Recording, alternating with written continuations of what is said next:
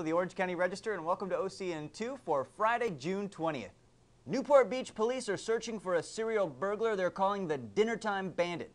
They say Paul Leighton Kiesling has hit at least 20 pricey homes in the city over the last three years, stealing jewelry, watches, and guns worth several million dollars. They say he enters unlocked doors or windows between 5 and 11 at night when homeowners are out to dinner. There's a warrant out for Kiesling's arrest. If you have any information on his whereabouts, you're urged to call Newport Beach Police.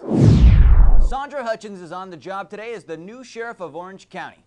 Hutchens was sworn in yesterday in a private ceremony that was kept secret from the public. Supervisor John Moorlach said he gave Hutchens the option of an early swearing in so she could get to work.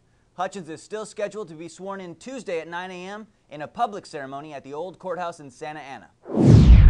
Classmates of the two Tesoro High School students accused of hacking into school computers to change grades are speaking out, saying both teens were good students and poised for success.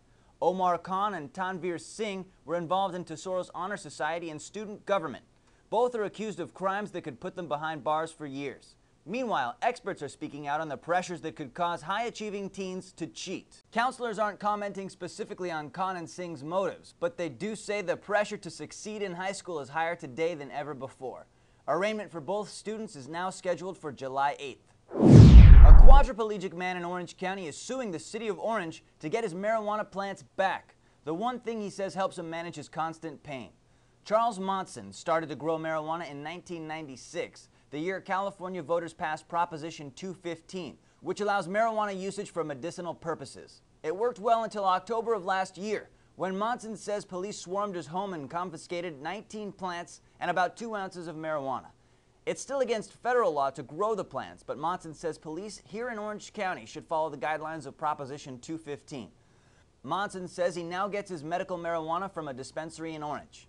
He says he won't grow it again until the case is settled. And an Anaheim homicide detective is being recognized today for her work on one of the most gruesome cases in Orange County history. Karen Schrofer was the lead detective in the 2007 Dhanak family murder case that left a father and daughter dead. Schrofer poured her heart into the case, working two months without a day off until three suspects were arrested.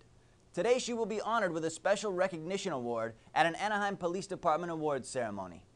Weekdays, watch Daybreak OC from 6 to 8 a.m. on KDOC and catch Real Orange weekday evenings at 6.30 on KOCE. To read more about all of these stories and to get your breaking news all day, click on ocregister.com.